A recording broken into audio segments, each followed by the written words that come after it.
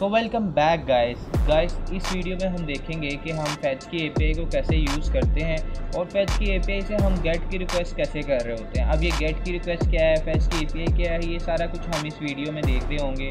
और इस वीडियो में हम प्रोमिस को देखेंगे कि हम कैसे यूटिलाइज़ करेंगे।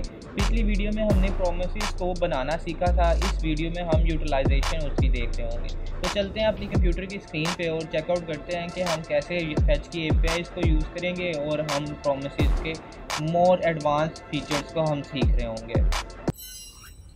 तो यहाँ पे देखें कि हमने सबसे पहले ये इंट्रोडक्शन लेना है कि हमारे पास फैच की ए होती क्या है। फैच की ए बेसिकली हमारे पास आ, कुछ ऐसा प्रोवाइड करती है कि हमने एक्शंस को क्रिएट करना होता है और प्रोमिस एक्शंस के थ्रू हमने फैच की ए से डाटा लेके आना होता है किसी भी एपीआई के थ्रू अब जेसन प्लेस होल्डर और रेक्रीस जो हमारे पास है रिक्वेस्ट रिस्पॉन्स इसका फुल फॉर्म है, ये एक दो वेबसाइट्स हैं जो कि हम, हमें मोक ए प्रोवाइड करती हैं। अब इन मोक ए का क्या काम है, इन चीज़ को हम चेकआउट कर रहे होंगे। तो सबसे पहले हम यहाँ पे चेकआउट करते हैं कि हमारे पास जो फैच की एपीआई है, वो फैच की एपीआई हमें क्या क्या चीज़ें प्रोवाइड करती है। फैच की एपीआई बेसिकली हमारे पास करती क्या है? फैच की एपीआई हमारे पास एक ऐसा टूल है प्रोमिस का एक ऐसा टूल है, जिससे हम बहुत सारी एपीआई को रन कर सकते हैं गेट की रिक्वेस्ट कर सकते हैं पोस्ट की रिक्वेस्ट कर सकते हैं। हमारे पास बेसिकली फोर टाइप की रिक्वेस्टेस होती हैं। हमारे पास गेट की रिक्वेस्ट पोस्ट की रिक्वेस्ट पुट की रिक्वेस्ट और डिलीट की रिक्वेस्ट होती हैं। ये आगे आने वाली वीडियोस में मैं ये डिटेल में बताऊँगा, लेकिन अभी के लिए आप ये समझ लें कि हमने किसी भी जगह से डाटा अगर लेके आना है तो हम गेट की रिक्वेस्ट को यूज़ कर रहे होते हैं। और फैच की एपीआई बेसिकली गेट की रिक्वेस्ट के लिए हम यूज़ कर रहे होते हैं। तो हमारे पास जावा स्क्रिप्ट में जेसन प्लेस होल्डर और रिक्वेस्ट रिस्पॉन्स एक वेबसाइट दो वेबसाइट्स हैं। जिस वेबसाइट से हम एग्जाम्पलरी मॉक डाटा लेके आएँगे इस वीडियो में और उस डाटा को फैच आउट करवा के अपने एच पेज पे हम दिखाएँगे और देखेंगे कि उस डाटा को हम कैसे कहाँ से लेके आए हैं और क्या उसके नेटवर्क कॉजेज़ हैं। इन चीज़ों को हम इस वीडियो में देख रहे होंगे। अभी मुझे लगता है कि ये चीज़ें थोड़ी सी आपके पास एररफुल होंगी और थोड़े से कॉम्प्लिकेटेड है, लेकिन ये सो इजी है और इसको यूज़ करना बहुत इजी है। अब यहाँ पे हमारे पास फैच की एपीआई हमारे पास हमने देखा कि ए सिंक्रोनस और सिंक्रोनस टास्क क्या होते हैं। अगर तो आपने नहीं ये, इसको इलम तो आप मेरी पिछली वीडियो को चेकआउट ज़रूर कीजिएगा। उसमें मैंने सिंक्रोनस और ए सिंक्रोनस का टास्क को ज़रूर परफॉर्म करवाया हुआ है। ये पे बेसिकली हमें प्रोवाइड क्या करती है, ये चीज़ को हम इस वीडियो में देख रहे हैं कि हमारे पास फैच की ए एक इंटरफेस प्रोवाइड करते हैं, जो कि हमारे पास ये प्रोवाइड करता है कि रिक्वेस्ट करता है नेटवर्क रिक्वेस्ट करता है। जैसे आपके पास सिंपल सी रिक्वेस्ट नहीं होती कि आप एच टी रिक्वेस्ट कर रहे हो, उस जैसी रिक्वेस्ट वो प्रोवाइड कर रहा होता है। अब रिक्वेस्ट क्या है रिस्पांस क्या है, इस वीडियो में मैं आपको सारा कुछ बता रहा हूँ इस वीडियो में हम प्रैक्टिकली ये चीज़ देख रहे होंगे कि हम रिक्वेस्ट रिस्पॉन्स को कैसे लेके आते हैं। अब प्रॉमिस बेस्ड मैनर क्या होता है, ये भी हम इस वीडियो में देख रहे होंगे। मैं इसलिए आपको इस वीडियो में ये चेकआउट करवा रहा हूँ इन स्लाइड्स के थ्रू कि आपको ये इलम हो कि हमने इस वीडियो में करना क्या है। इस वीडियो में हम क्विकली ये चेकआउट करेंगे कि हम प्रोमिस को कैसे यहाँ पे यूटिलाइज़ करते हैं। बनाना हमने सीखा था पिछली वीडियो में तो आप पिछली वीडियो को ज़रूर चेकआउट कीजिएगा। तो इस वीडियो में हम उस प्रोमिस को ज़्यादातर जो यूटिलाइजेशन इंडस्ट्री में की जाती है, एक हाई स्टैंडर्ड में इंडस्ट्री में यूटिलाइजेशन की जाती है, उस यूटिलाइजेशन को हम इस वीडियो में देख रहे होंगे। तो चलते हैं अपनी वी एस कोड की स्क्रीन पे, और फैच ए पे इसको यूज़ करते हैं, और फैच ए पे को यूज़ करने के साथ साथ जेसन प्लेस फोल्डर पे जाके हम कुछ मॉक ए के सैम्पल्स को उठाते हैं। तो अब हम आ गए हैं अपने वी एस कोड की स्क्रीन पे और वी एस कोड की स्क्रीन पे मैंने एक न्यू फोल्डर बनाया है और उस फोल्डर के अंदर मैंने H T index dot H T M L की फ़ाइल मैंने रखी है। अब यहाँ पे हम चीज़ को देख रहे होंगे कि ये बॉयलर प्लेट हमने पहले क्रिएट की थी। एच टी एम एल के कोड से आप देख सकते हैं कि हम बॉयलर प्लेट कैसे क्रिएट करते हैं। मैं इस वीडियो में भी बता देता हूँ कि आपने यहाँ पे ऐसे लिखना है तो आपके पास ये बॉयलर प्लेट खुदबाउदी वी एस कोड आपको दे देगा। अब यहाँ पे हमने स्क्रिप्ट का टैग यहाँ पे यूज़ करना है। तो स्क्रिप्ट के टैग को यूज़ करने के साथ साथ हम यहाँ पे ऐसे स्क्रिप्ट के टैग को यूज़ करते हैं।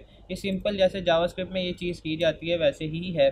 और उसके बाद हमने क्या करना है, हमने कौन लिख के एक हमने लिखना है डाटा अब यहाँ पे डाटा लिख के हमने फेच की जो एपीआई है फेच का जो फ़ंक्शन है, इस फ़ंक्शन को हमने यूज़ करना है। ये बेसिकली हमारे पास प्रॉमिस है। ये प्रॉमिस हमें प्रोवाइड करता है कि हम कैसे अपने डाटा को किसी भी एपीआई से एप्लीकेशन प्रोटोकॉल से लेके आते हैं। सबसे पहले हमने जेसन प्लेस होल्डर को यूज़ करना है। तो जेसन प्लेस होल्डर आपने गूगल पे जाके जेसन प्लेस होल्डर लिखना है तो आपके पास ये वेबसाइट आ जाएगी। इस वेबसाइट पे आपने जाना है तो आपका ऐसे इंटरफेस आएगा। इस इंटरफेस पे आपने स्क्रॉल डाउन करना है, और स्क्रॉल डाउन करने के साथ साथ आपने यहाँ पे कुछ आपके पास मॉक डाटा रिसोर्सेज आपके पास यहाँ पे अवेलेबल होंगे। यहाँ पे आपने कुछ भी डाटा रिसोर्स को उठाना है, मैं यहाँ पे यूज़र्स को उठाता हूँ तो ये हमें डाटा प्रिंट करके देगा। अब यहाँ पे इस यूआरएल को आपने कॉपी करना है। इस यूआरएल को आपने कॉपी करके इस यहाँ पे लेके आके और यहाँ पे पेस्ट कर देना है। अब इसके साथ साथ आपने क्या करना है? आपने एक प्रोमिस जैसे देन और कैच को हमने यूज़ किया था, उसको यूटिलाइज़ किया था। इसी तरह हमने देन और कैच को यहाँ पे यूटिलाइज़ करना है। इससे पहले हम यहाँ पे अपने इस पेज को लाइव सर्वर पे ओपन कर लेते हैं। लाइव सर्वर पे क्या है? ये चीज़ मैंने आपको एच अपने एच वाले कोर्स में बताई है तो आप उसको ज़रूर चेकआउट कीजिएगा एक दफ़ा। तो यहाँ पे हमने अपने लाइव सर्वर को ऑन करना है और लाइव सर्वर को ऑन करने के साथ साथ यहाँ पे हम अपने लाइव सर्वर को ऑन करते हैं। और यहाँ पे मैं इस लाइव सर्वर को इसके साथ रख देता हूँ ताकि आपके पास बेटर व्यू आ जाए। और यहाँ पे हम कंसोल को ओपन करते हैं। कंसोल को ओपन करने के साथ यहाँ पे हमारे पास ये कंसोल ओपन हो जाता है। अब हमने सबसे पहले क्या चीज़ करनी है? हमने डाटा लेके आना है इस यूआरएल से। जो यूआरएल हमने यहाँ पे यूटिलाइज़ किया है, उस यूआरएल से हमने ये डाटा को लेके आना है। जब हमने डाटा को लाना है तो हमारे पास प्रोमिस के थ्रू हमने ये चीज़ें करनी है। तो आपको पता है कि प्रोमिस के पहले दिन में हमारे पास रिस्पॉन्स आता है और रिस्पॉन्स डॉट जेसन में हम यहाँ पे इसको कन्वर्ट करते हैं। और रिस्पॉन्स को जब हम जेसन में कन्वर्ट करते हैं, इसका मतलब है कि हमने जो डाटा यहाँ पे, हमारे पास यहाँ पे एक टेक्स्ट फॉर्मेट में आ रहा था कि ये जो हमारे पास टेक्स्ट फॉर्मेट में आ रहा था इस टेक्स्ट फॉर्मेट को हमने जेसन फॉर्मेट में कन्वर्ट कर दिया है। और अब यहाँ पे जब हमने जेसन फॉर्म में कन्वर्ट कर दिया तो सेकंड डन में हमारे पास ये डाटा अवेलेबल होगा।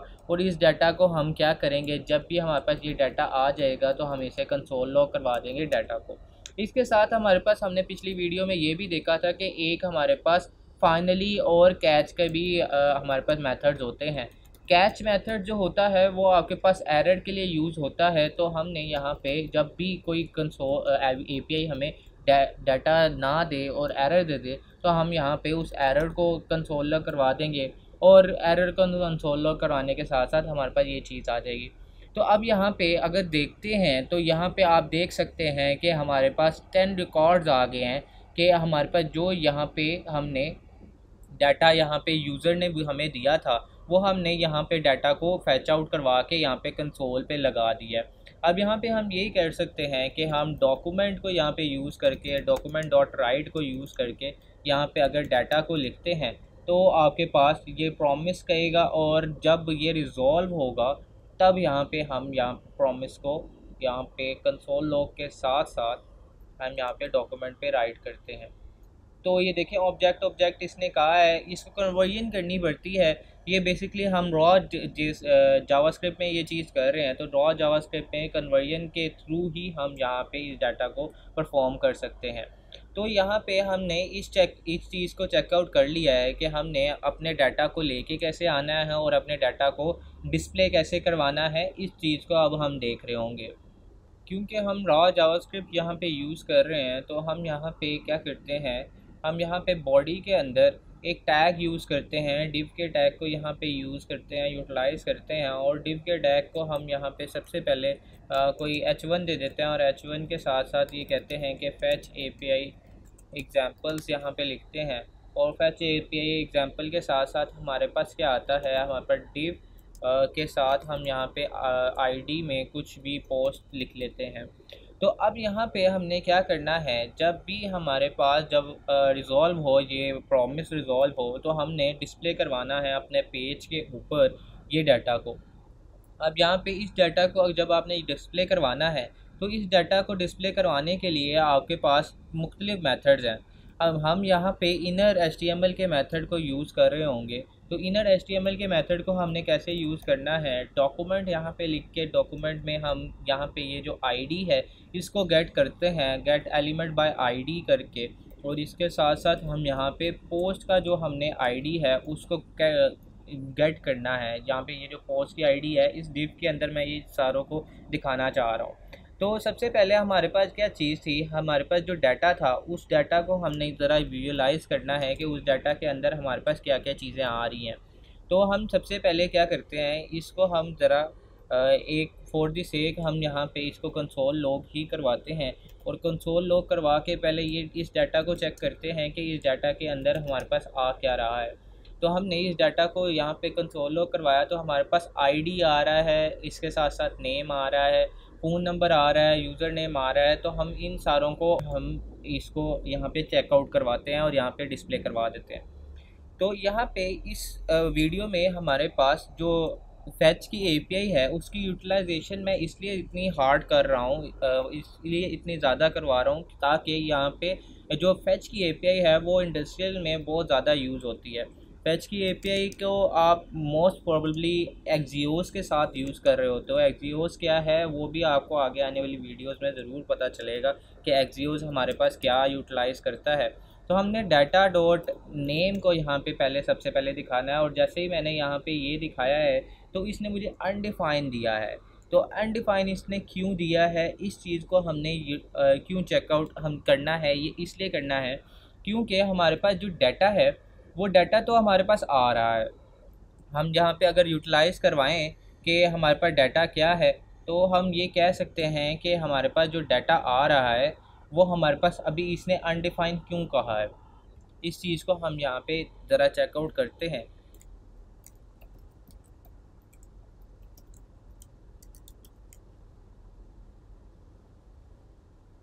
क्योंकि हमारे पास जो डाटा है, वो हमारे पास एक अरे है। डाटा हमारे पास एक अरे है, हमने एक अरे को यहाँ पे यूटिलाइज़ करवाना है। तो अरे को हमने जब आल्ट्रेट करवाना होता है तो हम लूप के मेथड्स को यूज़ कर रहे होते हैं। तो हम यहाँ पे एक और चीज़ कर सकते हैं कि हम सिंपली एक यूज़र का डाटा यहाँ पे लें और एक यूज़र के डाटा को डिस्प्ले करवा दें। तो हमारे पास अब जो है, वो हमारे पास एक ऑब्जेक्ट आएगा और इस ऑब्जेक्ट को हम यहाँ पे डिस्प्ले करवा सकते हैं। तो हम एक ऑब्जेक्ट को यहाँ पे डिस्प्ले करवा के चेकआउट करते हैं और बाद में लूप्स को यूज़ करेंगे और लूप्स को ये चेकआउट करेंगे लूप से कि हम कैसे ये लूप के थ्रू कर सकते हैं। अब मैंने data dot data data dot name किया तो हमारे पास जो डाटा हमने लूप में आ रहा था, उसमें से पहली वाली एंट्री यहाँ पे मैंने यूआरएल में निकाली और उस पहली वाली एंट्री को यहाँ पे मैंने डिस्प्ले करवा दिया। अब इसी तरह हमारे पास डाटा डॉट ईमेल भी यहाँ पे हमारे पास आ रहा है और इसी तरह हमारे पास हम कह सकते हैं कि हमारे पास डाटा के जो हमारे पास यूज़र नेम है, वो भी हमारे पास यूज़र नेम यहाँ पे आ रहा होगा। तो उसको भी हम डिस्प्ले करवा देते हैं डाटा डॉट यूज़र नेम और यहाँ पे वो डाटा डॉट यूज़र नेम भी हमारे पास डिस्प्ले हो गया। है अब यहाँ पे हमने जेसन प्लेस होल्डर की एपीआई को यूटिलाइज़ किया और जेसन प्लेस होल्डर की एपीआई को यूटिलाइज़ करने के साथ हमने ये चीज़ चेकआउट की कि हम कैसे जेसन की एपीआई के थ्रू ही हम आ, अपने डाटा को यूटिलाइज़ कर रहे होते हैं। अब यहाँ पे हम ये कर सकते हैं कि हम एक फॉर लूप यहाँ पे यूज़ करें और फॉर लूप को यूज़ करके अपने डाटा को जो हमने पहले अरे देख रहे थे उस अरे को यहाँ पे हम यूटिलाइज़ करवा रहे हों। तो हम उस चीज़ को भी चेकआउट करेंगे। अब इसके साथ साथ हमारे पास एक और हमने एपीआई के की बात की थी। अब एपीआई कौन सी हमने कहा था? हमने रिक्वेस्ट रिस्पॉन्स एपीआई कहा था, जिसे आप रेक और रेस्प रेस्प एपीआई कहते हो। तो यहाँ पे आपने स्क्रॉल डाउन करना है और स्क्रॉल डाउन करने के साथ साथ आपने ये रिक्वेस्ट पे क्लिक करना है। और पेज टू पे ये जा रहा है। इसके साथ हमने यहाँ पे अपना, क्योंकि हमने एक जेसन फॉर्मेट में डाटा को लेना है तो हमने इस डाटा को यहाँ पे, इस यूआरएल को कॉपी करना है और इस यूआरएल को कॉपी करके यहाँ पे पेश कर देना है। ये आपके पास सारा कोड जो होगा, वो आपके पास अवेलेबल हो जाएगा गिटहब पे। आप यहाँ से चेकआउट कर सकते हैं कि इस कोड को आप कैसे यूटिलाइज़ कर सकते हो। तो यहाँ पे मैं इसको फॉर दी सेक आपके लिए मैं यहाँ पे कमेंट कर देता हूँ और यहाँ पे मैंने ये चीज़ को लेके आ गया हूँ। अब यहाँ पे हमारे पास, क्योंकि हमने अभी डाटा के सोर्स को चेकआउट नहीं किया कि डाटा किस फॉर्मेट में आ रहा है तो इसको हम यहाँ पे चेकआउट करते हैं और यहाँ पे इसको हम अनकंसोल करते हैं। डाटा के अंदर हमारे पास डाटा है और उसके अंदर हमारे पास एवतार ईमेल और हमारे पास मुख्तलिफ़ चीज़ें अवेलेबल हैं। तो अब यहाँ पे हम यहाँ ये यूटिलाइज़ कर सकते हैं कि डाटा के अंदर हमारे पास जो डाटा है और यहाँ पे वो ईमेल है। तो अगर देखें तो हमारे पास यहाँ पे ये ईमेल इसने दिखा दी है और यहाँ पे अब यहाँ पे हम इमेज के एक टैग को यूज़ करते हैं और इसके सोर्स के अंदर हम क्या करते हैं सोर्स के अंदर हम यहाँ पे एक स्ट्रिंग यूटिलाइज़ करते हैं। क्यूरी स्ट्रिंग, जिसे स्ट्रिंग लिटरल भी कहा जाता है तो हम इसे वो, उसे यहाँ पे यूटिलाइज़ करते हैं। और यहाँ पे हम क्या कहते हैं? डाटा डॉट एवतार जो है, हमारे पास data dot data dot avatar उसको यहाँ पे हम यहाँ लेके आते हैं। Data dot data dot avatar क्यों नहीं आ रहा इस चीज़ को हम ज़रा यूटिलाइज़ करते हैं। इस कंसोल लॉग भी हम हटाते नहीं हैं। कंसोल लॉग भी हम लगा देते हैं। ताकि हमारे पास जो डाटा है वो हमें दिख जाए। डाटा डॉट डाटा और इसके बाद हमारे पास अवतार आएगा। तो यहाँ पे हम एवतार को लेके आते हैं। Data dot एवतार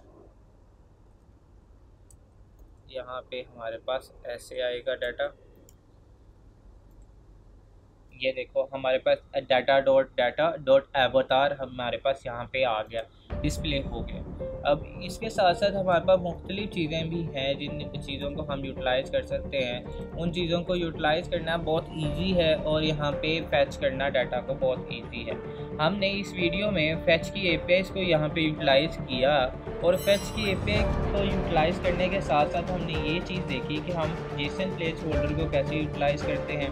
Jason place holder के साथ साथ हमने रिक्वेस्ट रिस्पॉन्स ए को यहाँ पे यूटिलाइज़ किया और कुछ डाटा को फैच आउट करके यहाँ पे लेके आए इस प्रॉमिस की सीरीज़ में और जावास्क्रिप्ट की सीरीज़ में आपको इंडस्ट्रियल स्टैंडर्ड के तौर पे हमने फैच की ए को सिखाया। अब फैच की ए को मजीद इसमें क्या चीज़ें हैं, उन चीज़ों को भी आगे आने वाली वीडियोज़ में हम यहाँ पे चेकआउट कर रहे होंगे। लेकिन इस ट्यूटोरियल के लिए यहाँ तक ही था। तो अगली वीडियो में ज़रूर मिलते हैं। लाइक सब्सक्राइब आपने कर देना है। वो करना ज़रूरी है। और कमेंट में मुझे ज़रूर बताइएगा कि आपने कैसे फैच की ए को यूटिलाइज़ किया हुआ है और कर रहे हैं।